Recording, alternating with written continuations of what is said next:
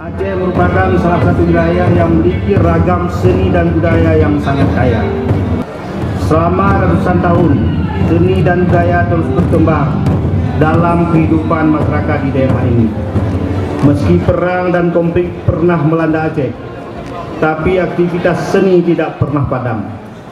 Malam malah seniman dan kebudayaan Aceh kerap menjadikan isu sosial sebagai tema dalam karya-karya mereka. Karena itu, jangan heran jika di Aceh banyak tarian dan nyanyian yang menggambarkan tentang perang dan kehidupan.